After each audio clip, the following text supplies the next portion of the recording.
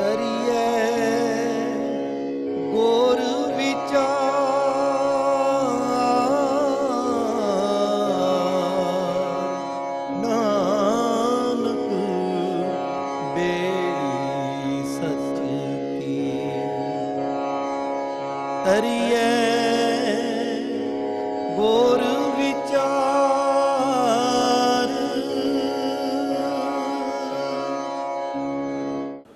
ਪਰ ਕੀ ਗੁਰੂ ਨਾਨਕ ਸਾਹਿਬ ਕਹਿੰਦੇ ਨੇ, ਇਹ ਰੱਬ ਦੀ ਦਾਤ ਹੈ ਔਰ ਕੋਈ ਪਤਾ ਨਹੀਂ ਸਾਈਂ ਨੇ ਕਿਹੜੇ ਵੇਲੇ ਕਿਹੜੀ ਦਾਤ ਦੀ ਬਖਸ਼ਿਸ਼ ਕਿਸੇ ਵੇਲੇ ਕਿਹਦੇ ਤੇ ਕਰ ਦੇਣੀ ਹੈ, ਇਹਦਾ ਕੋਈ ਅੰਦਾਜ਼ਾ ਨਹੀਂ ਹੈ ਜੀ। ਮਹੱਲਾ ਪਹਿਲਾ, ਸਿੱਧਕ ਸਬੂਰੇ ਸਾਧਕਾ ਸਬਰ ਤੋਸ਼ਾ ਮਲਾਇਕਾ।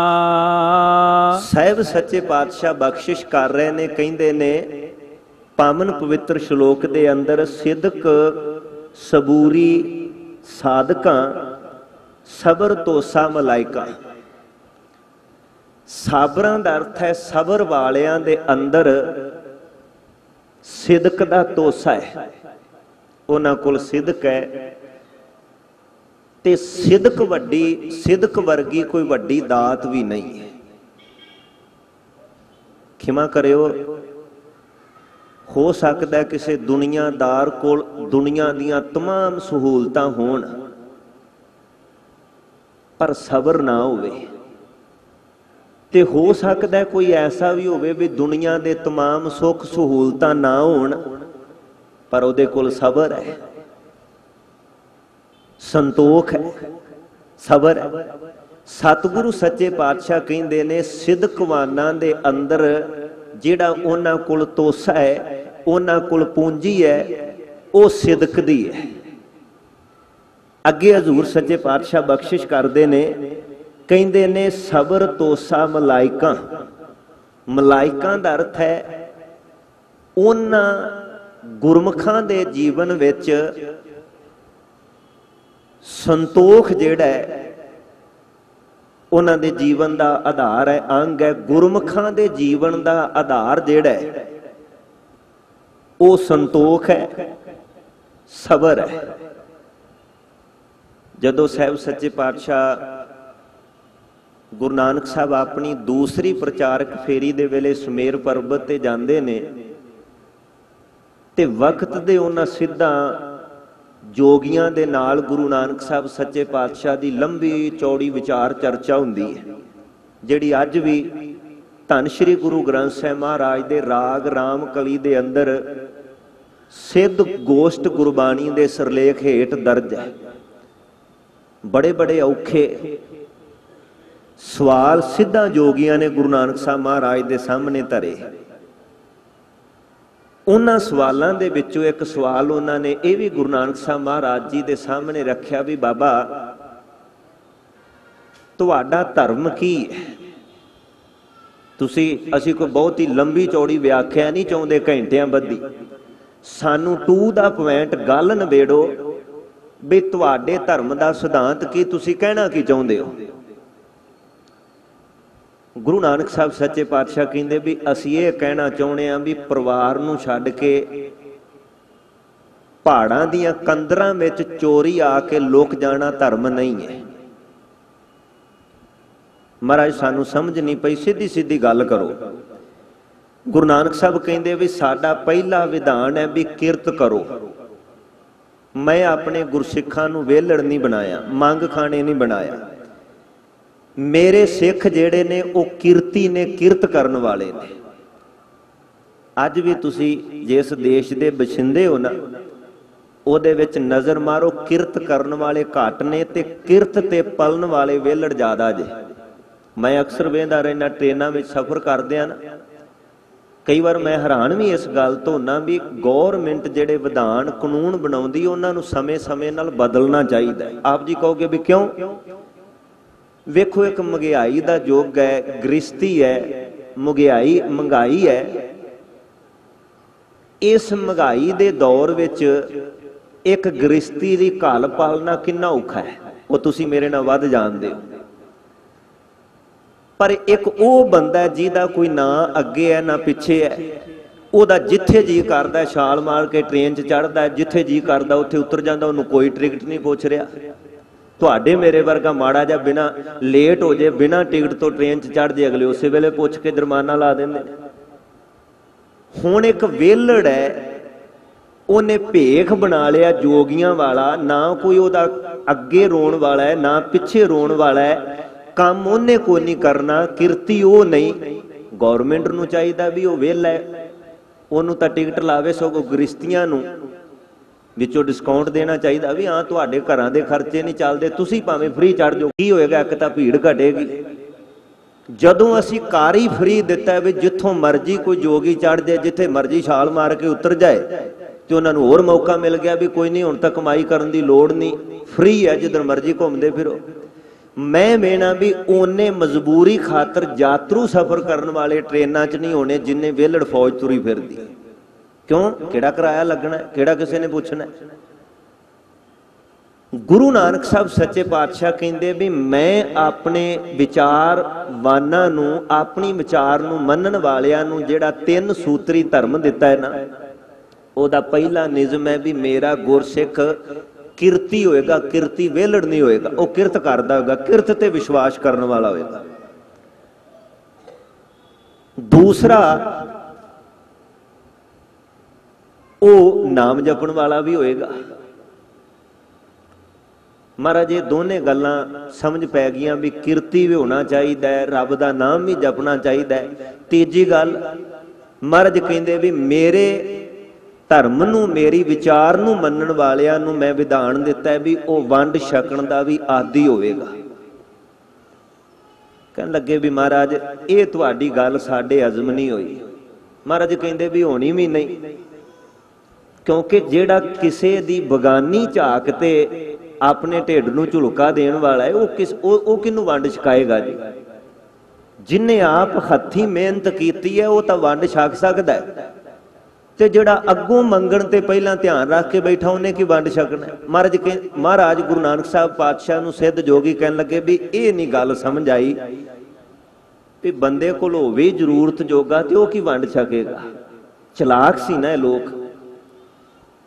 ਚਾਹੁੰਦੇ ਸੀ ਵੀ ਗੁਰੂ ਨਾਨਕ ਪਾਤਸ਼ਾਹ ਕੋਲ ਗਿਆਨ ਹੈ, ਇਹਨਾਂ ਦੇ ਸਾਹਮਣੇ ਬੜੇ ਬੜੇ ਵੱਡੇ ਲੋਕ ਝੁਕ ਗਏ। ਕਿੰਨਾ ਚੰਗਾ ਹੋਵੇ ਵੀ ਇਹਨਾਂ ਨੂੰ ਪਰਮਾ ਕੇ ਨਾ ਆਪਣੇ ਪੰਥ 'ਚ ਸ਼ਾਮਲ ਕਰੋ। ਇਹਨਾਂ ਨੂੰ ਵੀ ਇਹਨਾਂ ਦਾ ਗ੍ਰਸਥ ਧਰਮ ਛਡਾਓ, ਮਾਪੇ ਰੋਲਦੇ ਰਹਿਣ। ਇਹਨਾਂ ਨੂੰ ਆਪਣੀ ਮੰਡਲੀ 'ਚ ਲਿਆਓ। ਸਿੱਧ ਜੋਗੀ ਇਹ ਚਾਹੁੰਦੇ ਸੀ। ਪਰ ਉਹ ਸਫਲ ਨਾ ਹੋ ਸਕੇ। ਉਹਨਾਂ ਚਲਾਕੀ ਤੋਂ ਕੰਮ ਲੈ ਕੇ ਕੀ ਕਿਹਾ ਵੀ ਬਾਬਾ, ਹੁਣ ਸਾਡੇ ਕੋਲ ਤਾਂ ਇੱਥੇ ਅਸੀਂ ਕਿਰਤ ਕੋ ਨਹੀਂ ਕਰਦੇ, ਪਹਾੜਾਂ ਦੀਆਂ ਕੰਦਰਾਂ 'ਚ ਮੰਗ ਪਿੰਨ ਕੇ ਲੈ ਆਈਦਾ ਹੈ। ਸਾਲ ਪਰ ਖਾ ਖੂ ਕੇ ਗੁਜ਼ਾਰਾ ਕਰਦੇ ਆ। ਸਾਡੇ ਕੋਲ ਆ ਇੱਕ ਤੇਲ ਹੈ। ਜਰਾ ਇਹਨੂੰ ਵੰਡ ਕੇ ਛਕਾਓ ਖਾ। ਚਲਾਕੀ ਤੋਂ ਕੰਮ ਲਿਆ ਵੀ ਹੁਣ ਇੱਕ ਤੇਲ ਕਿਵੇਂ ਵੰਡ ਕੇ ਬੰਦਾ ਛਕ ਸਕਦਾ ਹੈ? ਗੱਲ ਗੁਰੂ ਨਾਨਕ ਸਾਹਿਬ ਸੱਚੇ ਪਾਤਸ਼ਾਹ ਕਹਿੰਦੇ, ਸੰਤੋਖ ਦੀ ਹੈ। ਜਿਨ੍ਹਾਂ ਕੋਲ ਸੰਤੋਖ ਹੈ, ਸਬਰ ਹੈ, ਉਹ ਬਹੁਤ ਕੁਝ ਕਰ ਸਕਦੇ ਨੇ। ਗੁਰੂ ਨਾਨਕ ਸਾਹਿਬ ਨੇ ਕੋਲ ਬੈਠੇ ਸਨ ਭਾਈ ਮਰਦਾਨਾ।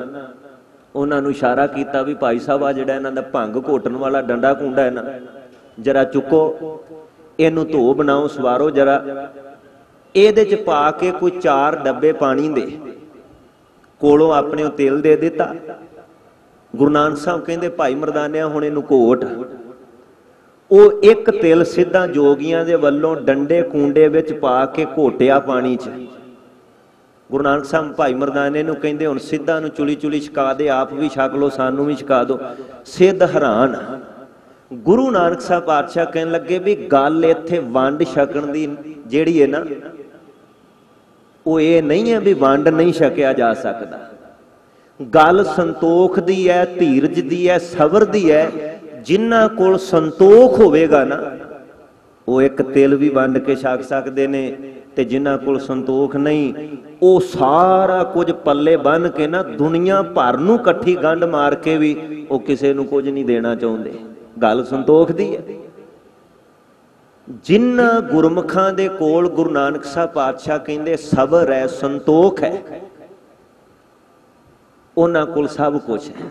ਗੁਰੂ ਨਾਨਕ ਸਾਹਿਬ ਪਾਤਸ਼ਾਹ ਦੇ ਬਚਨ ਨੇ ਹਜ਼ੂਰ ਸੱਚੇ ਪਾਤਸ਼ਾਹ ਕਹਿੰਦੇ ਨੇ, ਸਬਰ, ਤੋਸਾ, ਮੁਲਾਇਕਾਂ। ਮਲਾਇਕਾਂ ਦਾ ਅਰਥ ਹੈ ਗੁਰਮੁਖਾਂ।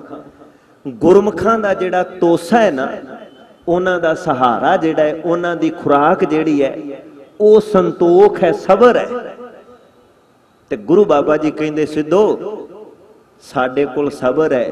ਅਸੀਂ ਆਪਣੇ ਗੁਰਸਿੱਖਾਂ ਨੂੰ ਵੀ ਸਬਰ ਤੇ ਸੰਤੋਖ ਦਾ ਪਾਠ ਪੜਾਉਂਦੇ ਹਾਂ ਜੀ। ਦੀਦਾਰ ਪੂਰੇ ਪਾਏ ਸਾ ਉਹ ਹੀ ਪੂਰੇ ਪ੍ਰਮਾਤਮਾ ਦੇ ਦਿਦਾਰ ਪਾ ਸਕਦੇ ਨੇ ਜਿਨ੍ਹਾਂ ਕੋਲ ਸਬਰ ਹੈ ਜਿਨ੍ਹਾਂ ਕੋਲ ਸੰਤੋਖ ਹੈ ਜਿਨ੍ਹਾਂ ਕੋਲ ਧੀਰਜ ਹੈ ਜੀ। ਥਾਉ ਨਾਹੀ ਖਾਏ ਕਾ ਖਾਇਕਾਂ ਦਾ ਅਰਥ ਹੈ ਮੂਰਖ। ਮੂਰਖਾਂ ਨੂੰ ਰੱਬ ਦੇ ਘਰ ਵਿੱਚ ਥਾਂ ਕੋਈ ਨਹੀਂ ਹੈ, ਰੱਬ ਨੂੰ ਮੂਰਖ ਨਹੀਂ ਹੈ ਪਾ ਸਕਦਾ। ਕਿਉਂ ਨਹੀਂ ਪਾ ਸਕਦਾ? ਕਿਉਂਕਿ ਉਹਦੇ ਕੋਲ ਸਬਰ ਨਹੀਂ ਹੈ, ਸੰਤੋਖ ਨਹੀਂ ਹੈ, ਉਹਦੇ ਕੋਲ ਗਿਲੇ ਸ਼ਿਕਵੇ ਨੇ। ਤਾਂ ਸਤਿਗੁਰੂ ਸੱਚੇ ਪਾਤਸ਼ਾਹ ਕਹਿੰਦੇ ਨੇ, ਖਾਇਕਾਂ ਨੂੰ ਮਾਲਕ ਦੇ ਘਰ ਵਿੱਚ ਥਾਂ ਨਹੀਂ ਹੈ ਜੀ। ਪੌੜੇ ਸਭ ਆਪੇ ਤੁਧ ਉਪਾਏ ਕੈ। ਆਪ ਕਰ ਲਾਏ। ਗੁਰੂ ਨਾਨਕ ਸਾਹਿਬ ਸੱਚੇ ਪਾਤਸ਼ਾਹ ਦੇ ਇਹਨਾਂ ਪਾਵਨ ਪਵਿੱਤਰ ਸ਼ਲੋਕਾਂ ਤੋਂ ਬਾਅਦ ਪੌੜੀ ਪ੍ਰਾਰੰਭ ਹੁੰਦੀ ਹੈ। ਪੌੜੀ ਦੇ ਉਚਾਰਨ ਕਰਤਾ ਧੰਨ ਗੁਰੂ ਰਾਮਦਾਸ ਸਾਹਿਬ ਸੱਚੇ ਪਾਤਸ਼ਾਹ ਨੇ। ਹਜ਼ੂਰ ਪੌੜੀ ਦੀ ਸ਼ੁਰੂਆਤ ਕਰਦਿਆਂ ਕਹਿੰਦੇ ਨੇ, ਹੇ ਹਰੀ, ਹੇ ਪ੍ਰਮਾਤਮਾ ਪ੍ਰਭੂ ਜੀ, ਸਭ ਆਪੇ ਤੁਧ ਉਪਾਏ ਹੈ। ਆ ਸ੍ਰਿਸ਼ਟੀ ਜਿਹੜੀ ਹੈ ਇਹਨੂੰ ਤੁਸੀਂ ਆਪ ਹੀ ਪੈਦਾ ਕੀਤਾ ਹੈ ਉਪਾਏ ਕਾ ਦਾ ਅਰਥ ਹੈ ਪੈਦਾ ਕਰਨਾ ਤੁਸੀਂ ਇਸ ਸ੍ਰਿਸ਼ਟੀ ਨੂੰ ਇਸ ਕੁਦਰਤ ਨੂੰ ਇਸ ਬ੍ਰਹਿਮੰਡ ਨੂੰ ਆਪ ਹੀ ਪੈਦਾ ਕਰਨ ਵਾਲੇ ਹੋ ਤੁਧ ਆਪੇ ਸਭ ਆਪੇ ਤੁਧ ਉਪਾਏ ਕੈ ਆਪ ਕਾਰੈ ਲਾਈ ਇਹ तमाम ਸ੍ਰਿਸ਼ਟੀ ਨੂੰ ਪੈਦਾ ਕਰਕੇ ਤੁਸੀਂ ਆਪ ਹੀ ਇਸ ਸ੍ਰਿਸ਼ਟੀ ਦੇ ਜੀਵਾਂ ਨੂੰ ਕਾਰ ਵਿਹਾਰ ਵਿੱਚ ਧੰਦਿਆਂ ਵਿੱਚ ਲਾਇਆ ਹੋਇਆ ਹੈ। ਪੈਦਾ ਕਰਨ ਵਾਲੇ ਤੁਸੀਂ ਹੋ ਤੇ ਜੀਵਾਂ ਨੂੰ ਕੰਮਾਂ ਧੰਦਿਆਂ ਵਿੱਚ ਲਾਉਣ ਵਾਲੇ ਵੀ ਤੁਸੀਂ ਹੋ, ਦੂਜਾ ਨਹੀਂ। ਸਾਡਾ ਗਵਾਂਢੀ ਧਰਮ ਹੈ, ਸਨਾਤਨ ਮਤ ਜਿਹਨੂੰ ਹਿੰਦੂ ਧਰਮ ਕਹਿੰਦੇ ਆ। ਉਹ ਕਾਦਰ ਦੀ ਕੁਦਰਤ ਦੇ ਬਾਰੇ ਉਹਨਾਂ ਦੇ ਜਿਹੜੇ ਵਿਚਾਰ ਨੇ, ਉਹ ਗੁਰਮਤ ਨਾਲੋਂ ਭਿੰਨ ਨੇ। ਉਹ ਜਰਾ ਕੀ ਕਹਿੰਦੇ ਨੇ ਥੋੜਾ ਜਿਹਾ ਸਮਝ ਲਈਏ, ਕਿਉਂਕਿ ਗੁਰਮਤ ਦਾ ਰਸਤਾ ਵੱਖਰਾ ਹੈ। ਉਹ ਕਹਿੰਦੇ ਨੇ ਜੀ, ਬ੍ਰਹਮਾ ਇਸ ਸ੍ਰਿਸ਼ਟੀ ਨੂੰ ਪੈਦਾ ਕਰਨ ਵਾਲਾ ਹੈ। ਸਾਨੂੰ ਕੋਈ ਅਰਜ਼ ਨਹੀਂ ਉਹਨਾਂ ਨੂੰ ਮੁਬਾਰਕ। ਪਰ ਗੁਰਮਤ ਕੀ ਕਹਿੰਦੀ ਏ? ਗੁਰਮਤ ਕਹਿੰਦੀ ਏ, ਆਪੀ ਨੇ ਆਪ ਸਾਜਿਓ। ਗਵਾਂਢੀ ਧਰਮ ਕਹਿੰਦਾ ਬ੍ਰਹਮਾ ਪੈਦਾ ਕਰਨ ਵਾਲਾ ਹੈ। ਵਿਸ਼ਨੂੰ ਰੋਜੀ ਰੋਟੀ ਮੁਹੱਈਆ ਕਰਨ ਵਾਲਾ ਹੈ ਤੇ ਸ਼ਿਵ ਸੰਘਾਰ ਕਰਨ ਵਾਲਾ ਜੀਵਾਂ ਦਾ ਖਾਤਮਾ ਕਰਨ ਵਾਲਾ। ਸ਼ਿਵ ਭਗਵਾਨ ਹੈ, ਭੋਲੇਨਾਥ ਹੈ। ਮੈਂ ਜਦੋਂ ਆ ਗੱਲ ਪੜਦਾ ਤੇ ਮੈਂ ਕਈ ਵਾਰ ਚੱਕਰ ਤੋਂ ਵੀ ਰਹਿ ਜਾਣਾ ਵੀ ਦੁਨੀਆ ਕਿੱਡੀ ਚੁਸਤ ਹੈ। ਇਹਨੇ ਭਗਵਾਨਾਂ ਨੂੰ ਵੀ ਛਾਲ ਲਿਆ, ਇਹਨਾਂ ਅਵਤਾਰਾਂ ਨੂੰ ਵੀ ਛਾਲ ਲਿਆ। ਤੁਸੀਂ ਕਹੋਗੇ ਵੀ ਕਿਵੇਂ? ਤੁਸੀਂ ਕਦੀ ਤਜਰਬਾ ਕਰਿਓ, ਵੇਖਿਓ। ਤੁਹਾਨੂੰ ਬ੍ਰਹਮਾ ਜੀ ਦੇ ਮੰਦਰ ਨਾ ਦੇ ਬਰਾਬਰ ਮਿਲਣਗੇ, ਬੜੇ ਘੱਟ। ਕਿਉਂ? ਉਹਦੇ ਮੰਦਰ ਕਿਉਂ ਘੱਟ ਨੇ? ਕਿਉਂਕਿ ਬੰਦਾ ਚਲਾ ਕੇ ਵੀ ਬ੍ਰਹਮਾ ਜੀ ਦਾ ਕੰਮ ਹੈ ਪੈਦਾ ਕਰਨਾ। ਹੁਣ ਉਹਨੇ ਪੈਦਾ ਕਰ ਦਿੱਤਾ, ਹੁਣ ਤੂੰ ਕੌਣ ਤੇ? ਅਸੀਂ ਕੀ ਲੈਣਾ? ਦੂਜੀ ਗੱਲ ਸੀ ਵਿਸ਼ਨੂੰ ਦੀ। ਰੋਜੀ ਰੋਟੀ ਦੇਣੀ ਹੈ। ਬੰਦੇ ਨੂੰ ਪਤਾ ਹੈ ਵੀ ਮੈਂ ਸੌਖਾ ਆ। ਹੁਣ ਪੱਥਰ ਤੇ ਮਾਰਿਆ ਨਹੀਂ ਡੋਲਦਾ ਕੋਈ ਨਹੀਂ ਪ੍ਰਵਾਹ, ਅੱਧੀ ਲੰਘ ਗਈ, ਅੱਧੀ ਰਹਿ ਗਈ ਲੰਘ ਜਾਣੀ ਹੈ। ਜਿੰਨਾ ਕੁ ਮੈਂ ਜੋੜ ਲਿਆ ਮੈਨੂੰ ਕੋਈ ਨਹੀਂ ਪ੍ਰਵਾਹ। ਇਸ ਵਾਸਤੇ ਵਿਸ਼ਨੂੰ ਭਗਵਾਨ ਦਾ ਵੀ ਖਿਆਲ ਛੱਡ ਦਿੱਤਾ ਉਹਦੇ ਮੰਦਰ ਦੀ ਵੀ ਕੋਈ ਨਹੀਂ ਲੋੜ ਬਹੁਤੀ ਹੈਗੀ। ਹੁਣ ਤੀਸਰਾ ਸੀ ਭੋਲੇਨਾਥ। ਉਹਦਾ ਡਰ ਹੈ ਵੀ ਉਹਨੇ ਸੰਘਾਰਨਾ ਮਾਰਨਾ ਇਸ ਵਾਸਤੇ ਤੁਸੀਂ ਕਦੀ ਤਜਰਬਾ ਕਰਿਓ, ਜਿੰਨੇ ਤੁਹਾਨੂੰ ਭੋਲੇਨਾਥ ਦੇ ਮੰਦਰ ਮਿਲਣਗੇ, ਉਹਨਾਂ ਦੇ ਮੁਕਾਬਲੇ ਤੇ ਬ੍ਰਹਮਾ ਤੇ ਵਿਸ਼ਨੂੰ ਜੀ ਦੇ ਮੰਦਰ ਨਹੀਂ ਮਿਲਣਗੇ। ਕਿਉਂ? ਅਜੇ ਭੋਲੇਨਾਥ ਨਾਲ ਵਾਹ ਵਾਸਤਾ ਪੈਣਾ ਹੈ। ਤੇ ਬੰਦਾ ਫਿਰ ਡਰਦਾ ਡਰਦਾ ਉਹਦੀ ਪੂਜਾ ਕਰ। ਇਹਦਾ ਮਤਲਬ ਵੀ ਸ਼ੌਂਕ ਨਹੀਂ ਹੈ। ਮਜਬੂਰੀ ਬਣ ਚੁੱਕੀ ਬੰਦੇ ਦੀ ਧਰਮ ਕਮਾਉਣਾ। ਗੁਰਮਤ ਕੀ ਕਹਿੰਦੀ, ਜਰਾ ਸਮਝਿਓ। ਇਹ ਤਾਂ ਚਲੋ ਉਹਨਾਂ ਦਾ ਧਰਮ, ਉਹਨਾਂ ਨੂੰ ਮੁਬਾਰਕ।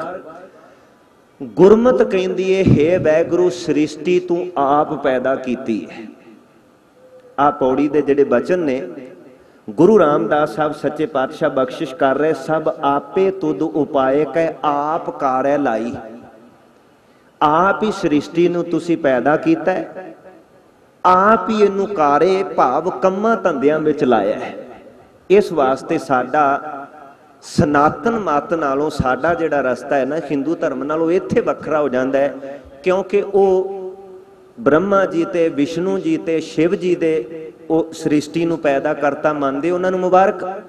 ਪਰ ਗੁਰਮਤ ਕਹਿੰਦੀ ਨਹੀਂ, ਆਪੀ ਨੇ ਆਪ ਸਾਜਿਓ, ਆਪੀ ਨੇ ਰਚਿਓ ਨਾਓ ਦੂਈ ਕੁਦਰ ਸਾਜੀਐ ਕਰ ਆਸਣ ਡਿਠੋ ਚਾਓ, ਦਾਤਾ ਕਰਤਾ, ਆਪ ਤੂੰ ਤੁਸ ਦੇਵੈ ਕਰੈ। ਤੂੰ ਜਨੋਈ ਸਭ ਸੈ। ਸਾਰਿਆਂ ਦਾ ਪੈਦਾ ਕਰਨ ਵਾਲਾ ਤੁਸੀਂ ਹੋ। ਦੇ ਲੈਸੈ, ਜਿੰਦ ਕਵਾਓ। ਉਧਰ ਕੀ ਕਹਿੰਦੇ ਨੇ? ਸ਼ਿਵ ਭਗਵਾਨ ਜਿੰਦ ਕੱਢਣ ਵਾਲਾ ਹੈ। ਗੁਰੂ ਨਾਨਕ ਸਾਹਿਬ ਕੀ ਕਹਿੰਦੇ ਨੇ? ਨਹੀਂ। ਰੱਬ ਜੀ, ਤੁਸੀਂ ਹੀ ਜਿੰਦ ਦੇਣ ਵਾਲੇ ਹੋ ਤੇ ਤੁਸੀਂ ਹੀ ਵਾਪਸ ਲੈਣ ਵਾਲੇ ਹੋ। ਗੱਲ ਸਪਸ਼ਟ ਹੋ ਗਈ। ਤੇ ਮੈਂ ਇਹ ਬੇਨਤੀ ਕੀਤੀ ਵੀ ਕਿਸੇ ਨੂੰ ਇਹ ਨਾ ਇਤਰਾਜ਼ ਹੋਵੇ, ਜਿਨ੍ਹਾਂ ਦਾ ਧਰਮ ਕਹਿੰਦਾ ਉਹ ਜਮ ਜਮ ਮੁਬਾਰਕ ਹੈ, ਉਹ ਪ੍ਰਚਾਰ ਕਰਨ। ਪਰ ਮੈਂ ਇਸ ਲਈ ਦਲੀਲ ਦਿੱਤੀ ਵੀ ਗੁਰੂ ਨਾਨਕ ਸਾਹਿਬ ਦੀ ਵਿਚਾਰ ਬੜੇ ਨਿਆਰੇ ਨੇ, ਬੜੇ ਵੱਖਰੇ ਨੇ। ਉਹ ਕਹਿੰਦੇ ਨੇ, ਇੱਕ ਹੀ ਪਰਮਾਤਮਾ ਹੈ ਜਿਹੜਾ ਸਾਰੀ ਇਸ ਤਾਕਤ ਨੂੰ, ਇਸ ਸ੍ਰਿਸ਼ਟੀ ਨੂੰ ਪੈਦਾ ਕਰਕੇ ਚਲਾ ਰਿਹਾ ਹੈ। ਤੇ ਖਤਮ ਦੀ ਐਂਡ ਵੀ ਉਹਨੇ ਕਰਨਾ ਹੈ, ਉਹਨੇ ਐਂਡ ਕਰਨ ਵਾਸਤੇ ਕਿਸੇ ਹੋਰ ਨੂੰ ਨਹੀਂ ਸੱਦਣਾ। ਫਿਰ ਉਹ ਪਰਮਾਤਮਾ ਹੀ ਕਾਹਦਾ? ਜਿਹੜਾ ਪੈਦਾ ਕਰਨ ਵਾਸਤੇ ਕਿਸੇ ਹੋਰ ਨੂੰ ਤੇ ਖਤਮ ਕਰਨ ਵਾਸਤੇ ਹੋਰ ਨੂੰ ਸੱਦੇਗਾ? ਨਹੀਂ। ਸਭ ਕਹਿੰਦੇ ਨੇ, ਹੇ ਵੈਗਰੂ, ਸਭ ਆਪੇ ਤੁਧ ਪਾਏ ਕਹਿ ਆਪ ਕਾਰੈ ਲਾਈ। ਤੁਸੀਂ ਸਾਰੀ ਸ੍ਰਿਸ਼ਟੀ ਨੂੰ ਆਪ ਪੈਦਾ ਕੀਤਾ ਹੈ। ਆਪ ਹੀ ਕਾਰ ਵਿਹਾਰ ਵਿੱਚ ਲਾਇਆ ਹੋਇਆ ਹੈ। ਕੋਈ ਦੂਜਾ ਨਹੀਂ ਇਸ ਵਾਸਤੇ ਅੰਮ੍ਰਿਤ ਬਾਣੀ ਦਾ ਇੱਕ ਬਚਨ ਪੜ੍ਹਦੇ ਆ ਤੂੰ ਆਪ ਕਾਰੈ ਲਾਈ। ਇਹ ਪੈਦਾ ਕਰਕੇ ਜੀਵ ਜੰਤ ਆਪਣੇ ਆਪਣੇ ਕੰਮਾਂ ਵਿੱਚ ਲਾਏ ਹੋਏ ਨੇ। ਬਾਬਾ ਜੀ ਦਾ ਬਚਨ ਪੜ੍ਹਦੇ ਆ ਸਾਹਿਬ ਕਹਿੰਦੇ, ਤੂੰ ਜੋਗੀ ਅੰਦਰ ਜੋਗੀਆ। ਦਾਤਾ, ਤੇਰੀ ਕੁਦਰਤ ਵਿੱਚ ਜਦੋਂ ਤੁਹਾਨੂੰ ਵੇਖਦੇ ਆ ਤੁਸੀਂ ਇੱਕ ਜੋਗੀ ਦੇ ਅੰਦਰ ਬੈਠੇ ਜੋਗ ਵੀ ਕਮਾ ਰਹੇ ਹੋ। ਤੂੰ ਭੋਗੀ ਅੰਦਰ ਤੂੰ ਇੱਕ ਭੋਗੀ ਜੀਵ ਦੇ ਅੰਦਰ ਬੈਠ ਕੇ तमाम ਕੁਝ ਭੋਗ ਵੀ ਰਿਹਾ ਹੈ ਤੇਰਾ ਅੰਤ ਨਾ ਪਾਇਆ ਸੁਰਗ ਮੱਛ ਪਿਆਲ ਜੀਓ ਅੱਗੇ ਬਾਬਾ ਜੀ ਬਚਨ ਕਰਦੇ ਨੇ ਹਉ ਵਾਰੀ ਹਉ ਵਾਰ ਨੇ ਕੁਰਬਾਨ ਤੇਰਾ ਨਾਮ ਨੂੰ ਹੇ ਦਾਤਾ ਮੈਂ ਤੇਰੇ ਤੋਂ ਵਾਰ ਨੇ ਬਲਿਹਾਰ ਨੇ ਸਦਕੇ ਜਾਣਾ ਤੇਰੇ ਨਾਮ ਤੋਂ ਜਿਨਨੇ ਇਹ ਸਾਰਾ ਬ੍ਰਹਿਮੰਡ, ਇਹ ਸਾਰੀ ਸ੍ਰਿਸ਼ਟੀ ਸਾਜੀ ਹੈ। ਅੱਗੇ ਕਹਿੰਦੇ ਨੇ, ਤੁਧ ਸੰਸਾਰ ਉਪਾਇਆ ਅੱਜ ਬਾਬਾ ਜੀ ਕੀ ਕਹਿੰਦੇ ਨੇ? ਵੈਗੁਰੂ, ਤੁਸੀਂ ਜੀਵ ਜੰਤ ਪੈਦਾ ਕਰਕੇ ਇਹਨਾਂ ਨੂੰ ਕਾਰ ਵਿਹਾਰ ਵਿੱਚ ਮਸਤ ਤੁਸੀਂ ਆਪ ਲਾਇਆ ਹੈ। ਸਤਿਗੁਰੂ ਸੱਚੇ ਪਾਤਸ਼ਾਹ ਕਹਿੰਦੇ, ਤੁਧ ਸੰਸਾਰ ਉਪਾਇਆ ਤੁਸੀਂ ਆ ਸੰਸਾਰ ਪੈਦਾ ਕੀਤਾ ਹੈ। ਸਿਰੈ ਸਿਰ ਧੰਦੇ ਲਾਇਆ ਤੇ ਕੰਮ ਧੰਦਿਆਂ ਵਿੱਚ ਵੀ ਤੁਸੀਂ ਆਪ ਹੀ ਇਸ ਸੰਸਾਰ ਨੂੰ ਪੈਦਾ ਕਰਕੇ ਲਾਇਆ ਹੋਇਆ। ਵੇਖੈ ਕੀਤਾ ਆਪਣਾ ਕਰ ਕੁਦਰਤ ਪਾਸਾ, ਢਾਲ ਜੀਓ। ਵੈਗਰੂ, ਇਹ ਸਾਰੀ ਰਚਨਾ ਰਚ ਕੇ ਨਾ ਤੇ ਇਸ ਰਚਨਾ ਵਿੱਚ ਬੈਠ ਕੇ ਤੁਸੀਂ ਆਪ ਹੀ ਇਸ ਸਾਰੀ ਸ੍ਰਿਸ਼ਟੀ ਨੂੰ ਕੁਦਰਤ ਦੇ ਜੀਵਾਂ ਨੂੰ ਨਿਹਾਰ ਰਹੇ ਹੋ। ਹੁਣ ਇਹ ਵੀ ਗੱਲ ਸਾਡੀ ਸਪਸ਼ਟ ਹੋ ਗਈ ਵੀ ਅਸੀਂ ਜਦੋਂ ਗੱਲ ਕਹਿੰਦੇ ਆ ਨਾ, ਉੱਪਰ ਵਾਲੇ ਤੋਂ ਡਰ, ਉੱਪਰ ਵਾਲੇ ਤੋਂ। ਗੁਰਮਤ ਕੀ ਕਹਿੰਦੀ ਹੈ? ਗੁਰਮਤ ਕਹਿੰਦੀ, ਹਾਂ, ਉੱਪਰ ਵੀ ਹੈ, ਪਰ ਇੱਕ ਗੱਲ ਉਹ ਤੇਰੇ ਅੰਦਰ ਵੀ ਹੈ। ਗੱਲ ਉਥੋਂ ਨਾ ਸ਼ੁਰੂ ਕਰ, ਗੱਲ ਇਥੋਂ ਸ਼ੁਰੂ ਕਰ। ਆਪੀ ਨੇ ਆਪ ਸਾਜਿਓ, ਆਪੀ ਨੇ ਰਚਿਓ ਨਾਓ ਦੂਈ ਕੁਦਰਤ ਸਾਜੀਐ ਕਰ ਆਸਣ ਡਿਠੋ। ਹੁਣ ਰੱਬ ਕਿੱਥੇ ਹੈ? ਆ ਜਿਹੜੀ ਕੁਦਰਤ ਪੈਦਾ ਕੀਤੀ ਹੈ ਗੁਰੂ ਨਾਨਕ ਸਾਹਿਬ ਕਹਿੰਦੇ ਰੱਬ ਇਸ ਕੁਦਰਤ ਨੂੰ ਪੈਦਾ ਕਰਕੇ ਵਿੱਚ ਸ਼ੌਂਕ ਨਾਲ ਆਪਣਾ ਆਸਣ ਲਾ ਕੇ ਬੈਠਾ ਹੋਇਆ ਉਹ ਸਾਰਿਆਂ ਜੀਵਾਂ ਵਿੱਚ ਉਹਦੀ ਮਜਬੂਰੀ ਨਹੀਂ ਹੈ ਉਹਦਾ ਸ਼ੌਂਕ ਹੈ ਕਿ ਕੁਦਰਤ ਪੈਦਾ ਕਰਕੇ ਕੁਦਰਤ ਦੀ ਇਸ तमाम ਤਮਾਸ਼ਿਆਂ ਨੂੰ ਚੋਜਾਂ ਨੂੰ ਵੇਖਣਾ ਜਿਨ੍ਹਾਂ ਨੂੰ ਸਮਝ ਪਈ ਉਹਨਾਂ ਅੰਮ੍ਰਿਤ ਬਾਣੀ ਵਿੱਚ ਬਚਨ ਕਹਿ, ਬਲਿਹਾਰੀ ਕੁਦਰਤ ਵਸਿਆ, ਤੇਰਾ ਅੰਤ ਨਾ ਜਾਈ, ਲਖਿਆ। ਜਾਤ ਮੈਂ ਜੋਤ ਜੋਤ ਮੈਂ ਜਾਤਾ। ਸਰਬ ਕਲਾ ਭਰਪੂਰ ਹੈ ਦਾਤਾ, ਤੂੰ ਸਾਰਿਆਂ ਦੇ ਅੰਦਰ ਭਰਪੂਰ ਹੈ ਸਾਰਿਆਂ ਦੇ ਅੰਦਰ ਤੁਸੀਂ ਸਮਾਏ ਹੋਏ ਹੋ। ਗੁਰੂ ਬਾਬਾ ਜੀ ਕਿਰਪਾ ਕਰ ਰਹੇ ਨੇ। ਵੈਗੁਰੂ, ਤੁਸੀਂ ਆਪ ਸ੍ਰਿਸ਼ਟੀ ਪੈਦਾ ਕੀਤੀ ਹੈ ਧੰਨ ਗੁਰੂ ਰਾਮਦਾਸ ਪਾਤਸ਼ਾਹ ਕਹਿੰਦੇ ਨੇ ਆਪ ਜੀਵਾਂ ਨੂੰ ਪੈਦਾ ਕਰਕੇ ਇਹ ਕੰਮ ਧੰਦੇ ਵਿੱਚ ਇਹਨਾਂ ਨੂੰ ਕਾਰੇ ਲਾਇਆ ਹੋਇਆ ਹੈ। ਤੂੰ ਆਪੇ ਵੇਖ ਵਿਗਸਦਾ ਆਪਣੀ ਵਡਿਆਈ। ਤੇ ਆਪ ਹੀ ਪ੍ਰਮਾਤਮਾ ਆਪਣੀ ਇਸ ਵਡਿਆਈ ਨੂੰ ਇਸ ਪਸਾਰੇ ਨੂੰ ਵੇਖ ਕੇ ਵਿਗਸਾ ਵਿਗਸਦਾ ਦਾ ਅਰਥ ਹੈ ਖੁਸ਼ ਹੋਣਾ ਪ੍ਰਸੰਨ ਹੋਣਾ। ਭੈ ਭੀਤ ਨਹੀਂ ਹੁੰਦਾ। ਤੁਸੀਂ ਵੇਖੋ, ਪਰਿਵਾਰ ਦੇ 4-5 ਮੈਂਬਰ ਹੋਣ ਨਾ, ਬੰਦੇ ਨੂੰ ਬੜਾ ਫਿਕਰ ਹੈ। ਪੁੱਤਰ ਦਾ ਕੀ ਬਣੇਗਾ, ਧੀ ਦਾ ਕੀ ਬਣੇਗਾ ਆ ਕੀ ਹੋਵੇ। ਸਾਰੀ ਉਮਰ ਬੰਦੇ ਦੀ ਚਿੰਤਾਵਾਂ ਦੇ ਵਹਿਣ ਵਿੱਚ ਵਹਿ ਰਹੀ ਹੈ। ਤੁਸੀਂ ਹੈਰਾਨ ਹੋ ਜਾਓਗੇ ਸਹਿਬ ਸੱਚੇ ਪਾਤਸ਼ਾਹ ਬਾਣੀ ਵਿੱਚ ਕਹਿੰਦੇ, ਏਕ ਪਿਤਾ ਆ ਸਾਰਾ ਸਮਾਜ ਜਗਤ ਦੁਨੀਆ ਦੇ ਬ੍ਰਹਿਮੰਡ ਦੇ ਜੀਵ, ਅਸੀਂ ਸਾਰੇ ਪ੍ਰਮਾਤਮਾ ਦੇ ਧੀਆਂ ਪੁੱਤਰ। ਇੱਥੇ ਇੱਕ ਧੀ ਤੇ ਇੱਕ ਪੁੱਤ ਨੂੰ ਪਾਲਣ ਵਾਸਤੇ ਬੰਦਾ ਡਾਢਾ ਪਰੇਸ਼ਾਨ ਹੈ ਤੇ ਉਹ ਡਾਢਾ ਪ੍ਰਮਾਤਮਾ ਜਿਹਦੇ ਸਮੁੱਚੀ ਬ੍ਰਹਿਮੰਡ ਦੇ ਜੀਵ ਜੰਤ ਪੈਦਾ ਕੀਤੇ ਹੋਈ ਧੀਆਂ ਪੁੱਤਰ ਨੇ। ਧੰਨ ਗੁਰੂ ਰਾਮਦਾਸ ਪਾਤਸ਼ਾਹ ਕੀ ਕਹਿੰਦੇ ਨੇ? ਉਹ ਏਡਾ ਵੱਡਾ ਪਸਾਰਾ ਪਸਾਰ ਕੇ ਭੈ ਭੀਤ ਨਹੀਂ ਹੈ। ਚਿੰਤਾ ਵਿੱਚ ਨਹੀਂ ਹੈ, ਹਾਏ ਕੀ ਬਣੇਗਾ ਨਾ। ਇਹ ਰੱਬ ਦੇ ਕੋਸ਼ ਵਿੱਚ ਸ਼ਬਦ ਹੀ ਨਹੀਂ ਹੈ, ਚਿੰਤਾ ਖਿਮਾ ਕਰੇ। ਧੰਨ ਗੁਰੂ ਰਾਮਦਾਸ ਪਾਤਸ਼ਾਹ ਦੇ ਇਹ ਪਾਵਨ ਬੋਲ ਜਰਾ ਦੁਬਾਰਾ ਸ਼ਰਵਣ ਕਰੋ ਜੀ। ਤੂੰ ਆਪੇ ਵੇਖ, ਵਿਗਸਦਾ। ਆਪਣੀ ਵਡਿਆਈ ਪ੍ਰਭੂ ਇਹ तमाम ਪਸਾਰੇ ਨੂੰ ਪੈਦਾ ਕਰਕੇ ਆਪ ਵੇਖ ਰਿਹਾ ਹੈ तमाम ਪਸਾਰੇ ਨੂੰ ਵੇਖ ਕੇ ਆਪ ਪ੍ਰਸੰਨ ਖੁਸ਼ ਹੋ ਰਿਹਾ ਹੈ ਜੀ ਹਰ ਤੁਧੋਂ ਬਾਹਰ ਕਿਛ ਨਾਹੀ ਤੂੰ ਸੱਚਾ ਸਾਈਂ ਸਹਿਬ ਕਹਿੰਦੇ ਨੇ ਹੇ ਹਰੀ ਤੁਹਾਡੇ ਤੋਂ ਬਾਹਰ ਹੋਰ ਕੁਝ ਹੈ ਹੀ ਨਹੀਂ ਜੋ ਕੁਝ ਵੀ ਹੈ ਨਾ ਇਹ ਤੁਹਾਡੇ ਅੰਡਰ ਹੈ। ਤੁਹਾਡੇ ਤੋਂ ਬਾਹਰ ਤਾਂ ਹੈ ਹੀ ਕੁਝ ਨਹੀਂ। ਇਸ ਵਾਸਤੇ ਤੁਸੀਂ ਸੱਚੇ ਸਾਈਂ ਹੋ। ਤੇ ਤੁਹਾਡੇ ਤੋਂ ਬਾਹਰ ਹੈ ਵੀ ਕੁਝ ਨਹੀਂ। ਹੁਣ ਵੇਖੋ, ਬੰਦੇ ਦਾ ਸੁਭਾਅ ਹੈ ਵੀ ਇੱਕ ਰੱਬ ਨੂੰ ਛੱਡ ਕੇ, ਦਾਤੇ ਨੂੰ ਛੱਡ ਕੇ ਨਾ ਬੰਦਾ ਮੰਗਤੇ ਕੋਲ ਮੰਗ ਰਿਹਾ ਹੈ। ਬੜੀ ਸੋਹਣੀ ਗੱਲ, ਇੱਕ ਪੰਥ ਪ੍ਰਸਿੱਧ ਵਿਦਵਾਨ ਹੋਏ ਨੇ ਚਲਾਣਾ ਕਰਕੇ ਗਿਆਨੀ ਅਰਜਨ ਸਿੰਘ ਜੀ। ਉਹਨਾਂ ਨੇ ਇੱਕ ਬੁੱਕਸ ਲਿਖੀ ਹੈ ਏ ਏਕੋ ਆਧਾਰ ਉਹਦੇ ਵਿੱਚ ਇੱਕ ਛੋਟੀ ਜੀ ਘਟਨਾ, ਦਾਤੇ ਚੈਪਟਰ ਹੇਠ ਲਿਖਦੇ ਨੇ, ਉਹ ਕਹਿੰਦੇ ਵੀ ਦੋ ਮੰਗਤੇ ਸੀ। ਇੱਕ ਕਿਤੇ ਸੱਜਿਓਂ ਨਿਕਲਿਆ, ਇੱਕ ਖੱਬਿਓਂ ਨਿਕਲਿਆ। ਰੱਬ ਵੰਨਿਓ ਦੋਨੇ ਅੱਖਾਂ ਤੋਂ ਮਨਾਖੇ ਸਨ। ਤੁਸੀਂ ਸਮਝਦੇ ਹੋਗੇ ਵੀ ਸੂਰਮਾ ਸ਼ਬਦ ਸਾਡੇ ਨਿਹੰਗ ਸਿੰਘ ਬੋਲਿਆਂ ਚ ਵਰਜੀ ਦੀ ਨਿਗਾਹ ਨਾ ਹੋਵੇ, ਅੱਖਾਂ ਤੋਂ ਮਨਾਖਾ। ਦੋਨਾਂ ਦੀ ਅੱਖਾਂ ਦੀ ਜੋਤ ਨਹੀਂ ਸੀ। ਹੁਣ ਉਹ ਵਿਚਾਰੇ ਅੱਖਾਂ ਦਾ ਕੰਮ ਵੀ ਆਪਣੇ ਕੰਨਾਂ ਤੋਂ ਲੈਂਦੇ ਨੇ। ਮੈਂ ਕਈ ਸੱਜਣਾ ਨੂੰ ਨੇੜੇ ਤੋਂ ਜਾਣਨਾ, ਜਿਨ੍ਹਾਂ ਦੀਆਂ ਵਿਚਾਰਿਆਂ ਦੀਆਂ ਜਮਾਂਦਰੂ ਅੱਖਾਂ ਦੀ ਜੋਤ ਨਹੀਂ, ਪਰ ਤੁਸੀਂ ਹੈਰਾਨ ਹੋ ਜਾਓਗੇ 20-20 ਸਾਲਾਂ ਬਾਅਦ ਉਹਨਾਂ ਦੇ ਸਾਹਮਣੇ ਕੋਈ ਆ ਕੇ ਬੋਲਿਆ ਉਹਨਾਂ ਪਛਾਣ ਕੇ ਦੱਸ ਦਿੱਤਾ ਵੀ ਇਹ ਫਲਾਣਾ ਹੈ। ਬੋਲ ਬਾਣੀ ਸੁਣ ਕੇ ਸਾਹਮਣੇ ਵਾਲੇ ਨੂੰ ਦੱਸ ਦੇਣਾ, ਇਹ ਉਹ ਅੱਖਾਂ ਦਾ ਕੰਮ ਵੀ ਇਉਂ ਕਹਿ ਲੋ ਵੀ ਕੰਨਾਂ ਤੋਂ ਲੈਂਦੇ ਨੇ। ਕਹਿੰਦੇ ਵੀ ਉਹ ਜਦੋਂ ਆਮਣਿਓ ਸਾਹਮਣਿਓ ਦੋਨੇ ਮਨਾਖੇ ਮੰਗਤੇ ਨਿਕਲੇ, ਉਹਨਾਂ ਨੂੰ ਇੱਕ ਨੂੰ ਦੂਜੇ ਦੇ ਪੈਰਾਂ ਦੀ ਆਹਟ ਸੁਣਾਈ ਦਿੱਤੀ ਵੀ ਸਾਹਮਣਿਓ ਕੋਈ ਆ ਰਿਹਾ ਆ। ਉਹਨੇ ਦਵਾ ਦਵ ਬਗਲ ਦੇ ਵਿੱਚੋਂ ਜਿਹਦੇ ਚੋਂ ਪੈਸੇ ਪਵਾਉਣੇ ਸੀ, ਲੋਟਾ ਕੱਢਿਆ ਤੇ ਉਹਨੇ ਸਾਹਮਣੇ ਵਾਲੇ ਦੇ ਅੱਗੇ ਕਰ ਦਿੱਤਾ ਵੀ ਉਹਨੂੰ ਖੜਾਕ ਆਇਆ ਵੀ ਕੋਈ ਆ ਰਿਹਾ। ਹੁਣ ਸਾਹਮਣੇ ਵਾਲਾ ਵੀ ਵਿਚਾਰਾ ਉਹਦੇ ਵਰਗਾ ਮੰਗਤਾ ਸੀ, ਅੱਖਾਂ ਤੋਂ ਮਨਾਖਾ ਉਹ ਸੀ। ਉਹਨੇ ਆਪਣੇ ਖੀਸੇ ਵਿੱਚੋਂ ਲੋਟਾ ਕੱਢ ਕੇ ਉਸ ਮੰਗਤੇ।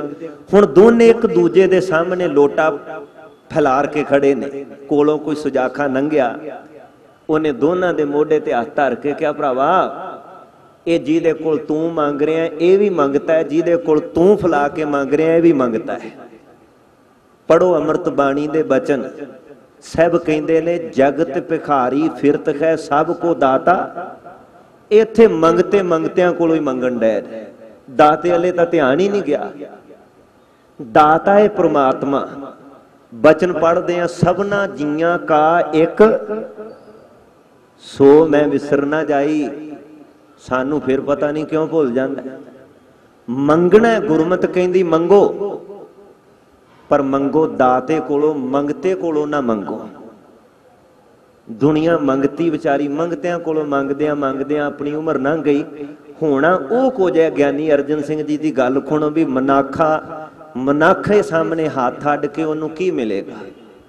ਮੰਗਤਾ ਮੰਗਤੇ ਦੇ ਬੂਏ ਜਾ ਕੇ ਆਸ ਰੱਖੀ ਬੈਠਾ ਹੋਵੇ ਇਥੋਂ ਝੋਲੀ ਭਰੇਗੀ ਨਹੀਂ ਭਰਨੀ।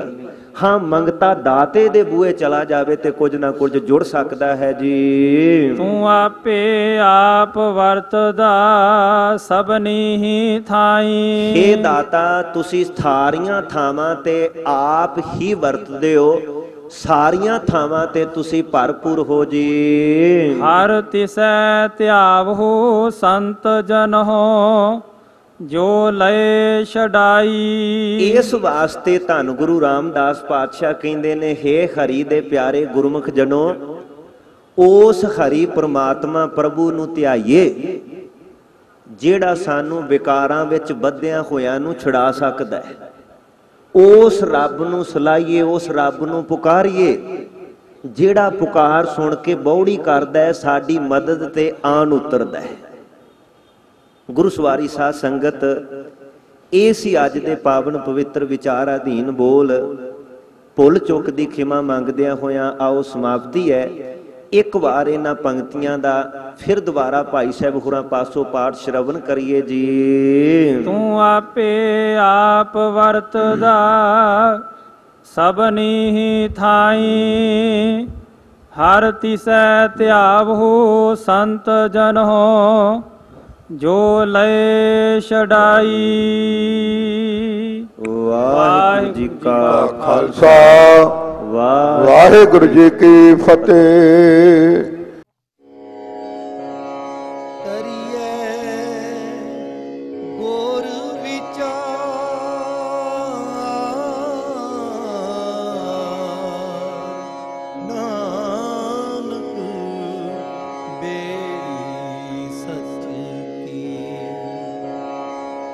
ਕਰੀਏ